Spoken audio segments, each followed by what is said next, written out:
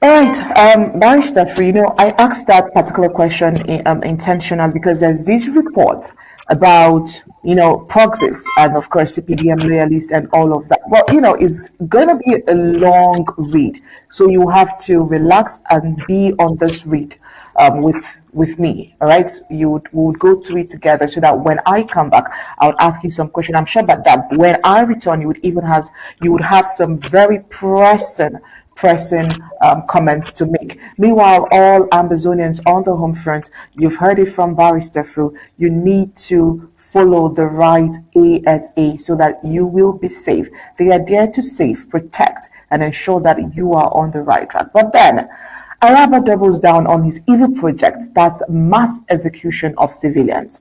Remember on Tuesday, we reported that the ASA IED had missed its target a development that was not surprising given the complexities of the war and the ASA ethical stance.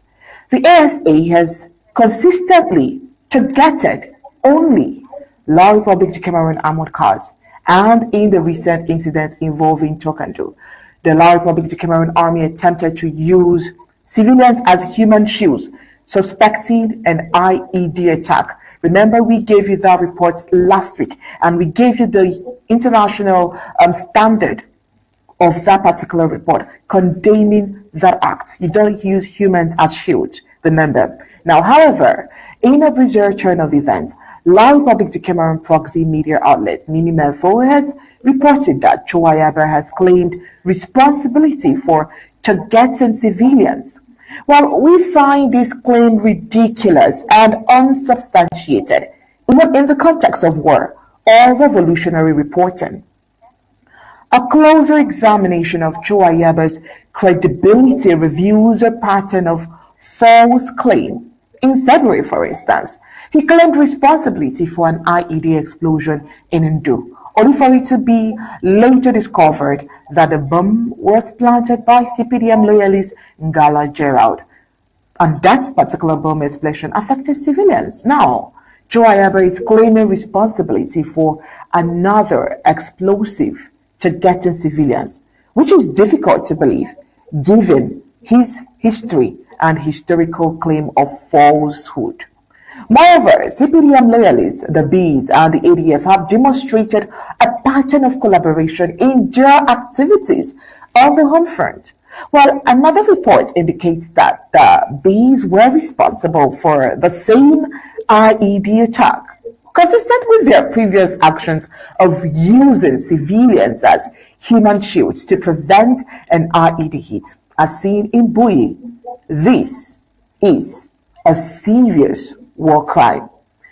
But that's by the way. In response to Cho Ayaba's claim, Marcus. Bendong has offered a critic that has caught our attention and we would like to share it with you all. In what he titled, Ayaba doubles down on his evil project, starts mass execution of civilians. He states that Lucas Ayaba leader of the AGOVC and commander-in-chief of the ADF has taken responsibility for the killing in cold blood of three civilians in Oshun, Batibo Momo, county of Ambazonia on Wednesday, the 26th day of June 2024. Ayaba claimed that the detonated IED, which blew off the civilian vehicle, targeted the La Republic de Cameroon military, but we know otherwise. For over five years running, the separatist leader has protected the same military he now claims his special squad targeted and missed.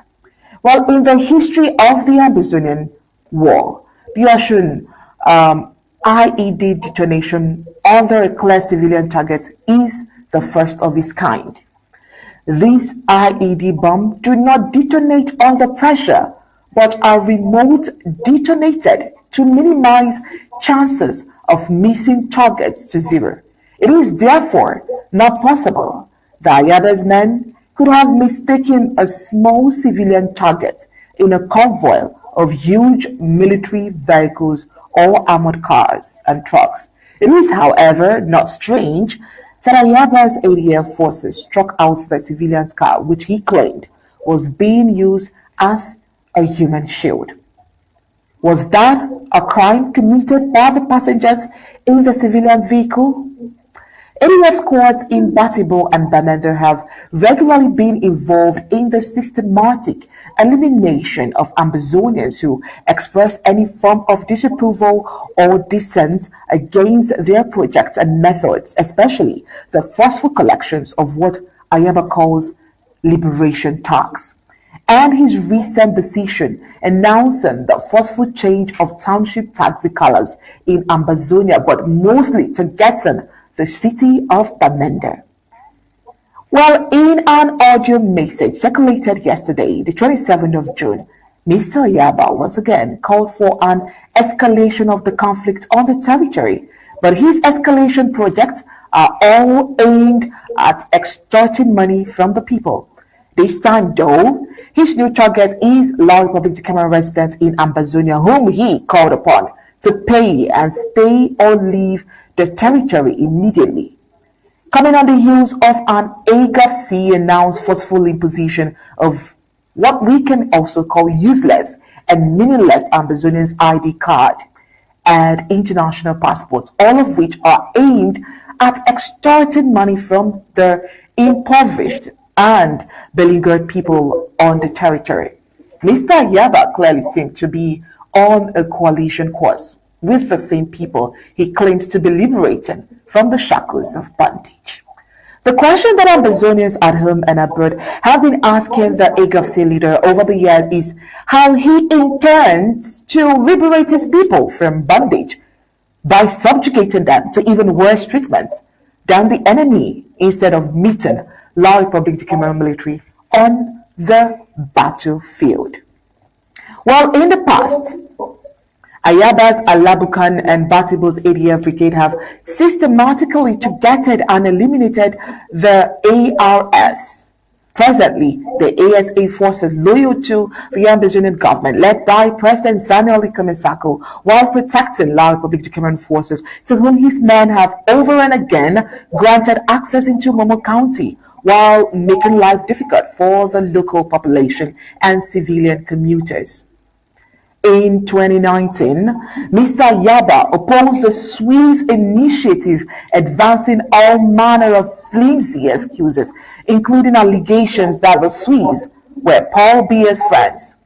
Whereas the truth stands that the Swiss mediation had earlier failed to consider him as a principal party on the Ambazonian side, preferring to build the negotiation efforts on the Ambazonian side around the then interim government of President Samuel Ikome Sako, who was clearly seen to be in charge of the territory and with considerable diplomatic outreaches in his folder.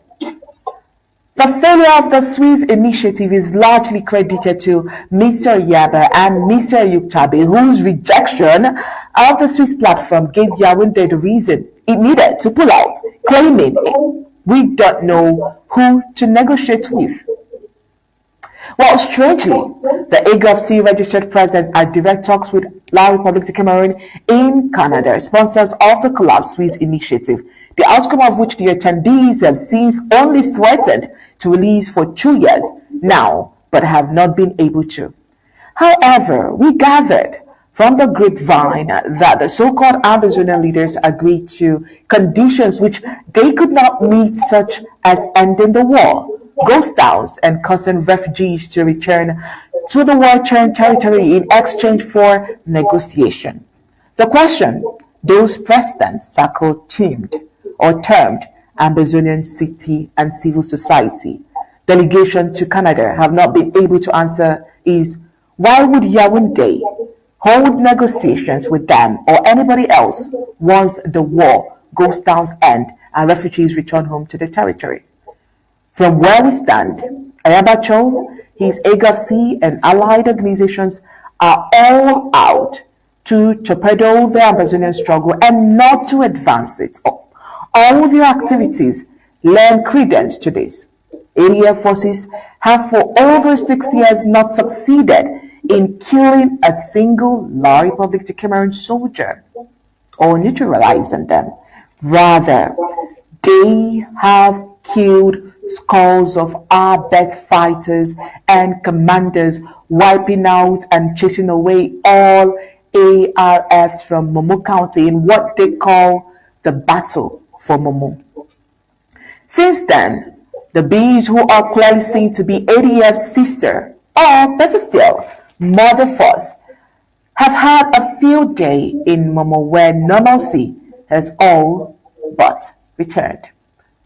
Throughout Ayaba's ADF's blockade of the Mbengwi and Fundong highways, not a single Lao Republic to Cameroon military truck was blown off the road. Rather, ADF fighters waved them and their colonial administration over happily but daily extorted huge amounts of money from desperate civilian commuters who most often underwent and still undergo exorbitant costs to bury their dead or transport their sick to hospitals. What about Ayaba's liberation talk? The blue and white taxi colors project is another ploy to push the people to turn their backs on the struggle while he and his Lao Republic to Cameroon military partners make money. If Ayaba is anything close to the revolutionary leader, war expert, and the diplomat that he claims and Bush to be, he would know that the only way to escalate the Indonesian war of independence is to take the fight to the enemy and not to subjugate his people to unwarranted pressures. Ayaba calls on the people to take responsibility, claiming that the diaspora has been involved in street demonstrations over the years. How many of these street demonstrations has Ayaba, his AGovC, organized and in how many has Ayaba taken part of since 2020? A true freedom fighter has essentially two things to do. Fight to evict the enemy from his territory and the second, protect his people. But on both counts, Ayaba has failed woefully. Well, this report is from Marcus F. Abendon.